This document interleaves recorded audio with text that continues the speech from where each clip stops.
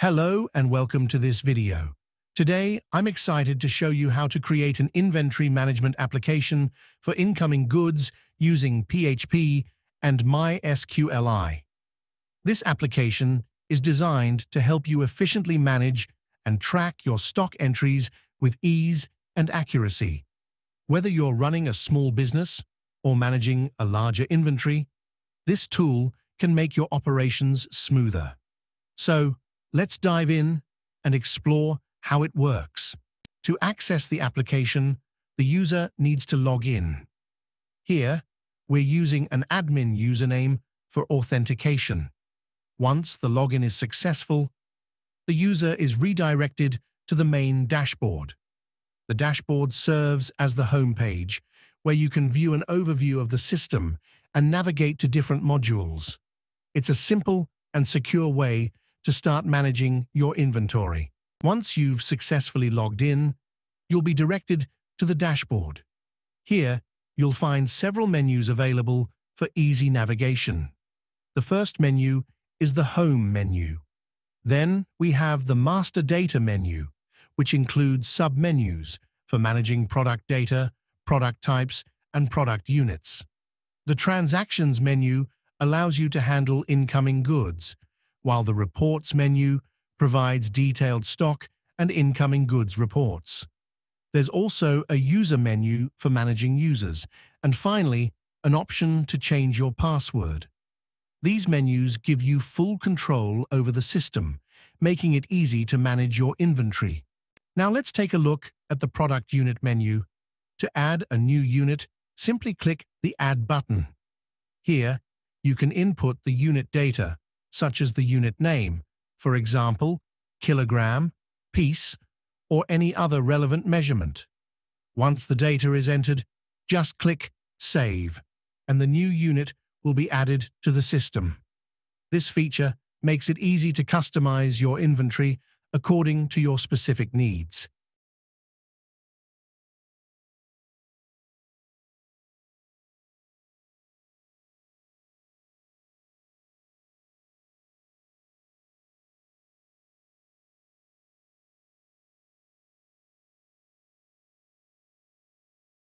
Next, let's move on to the Product Type menu. To add a new product type, simply click the Add button. Here, you can enter various details such as the product type name, like electronics, furniture, or any other category that suits your inventory. After filling in the necessary data, click Save, and the new product type will be added to your system. This helps organize your inventory and makes it easier to categorize products.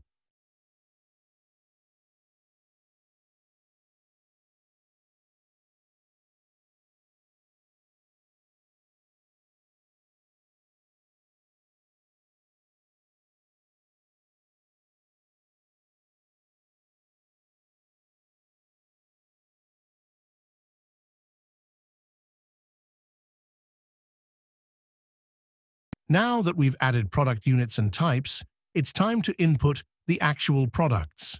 To add a new product, simply go to the Product Data menu and click the Add button.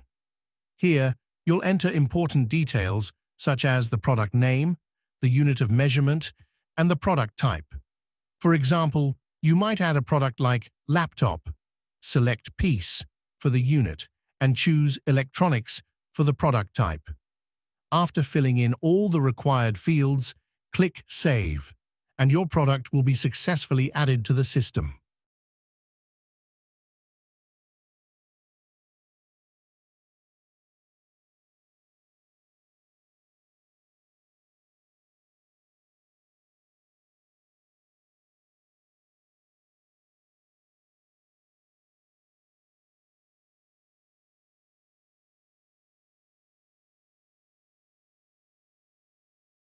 Let's move on to the Transactions menu, where we'll manage the incoming goods. In this section, you'll be able to input the data of products that are entering your inventory. To add new incoming goods, click on Add, and you'll enter the product name, quantity, and other relevant details. Once the data is saved, the stock of that product will be automatically updated in the master product data. This ensures that your inventory is always accurate and up to date. Now, let's explore the Reports menu, where you can generate detailed reports on your inventory. The first option is the Stock Report, which provides a summary of your current stock levels for each product in the system. You can easily track what you have in stock at any given time. The second option is the Incoming Goods Report, which shows a record of all the products that have been added to your inventory. Both reports help you monitor your inventory efficiently and keep your records up to date.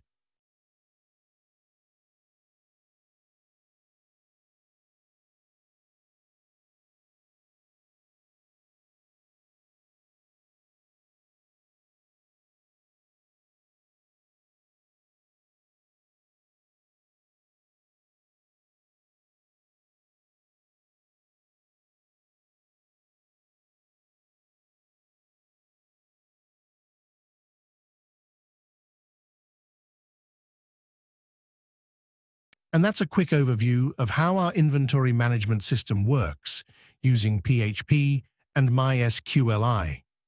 With features like product management, incoming goods tracking, and detailed reporting, this application helps you keep your inventory organized and efficient. I hope this video has helped you understand the process and functionality. If you have any questions or need further assistance, feel free to leave a comment below.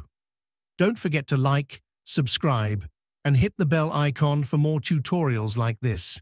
Thanks for watching, and good luck with your inventory management.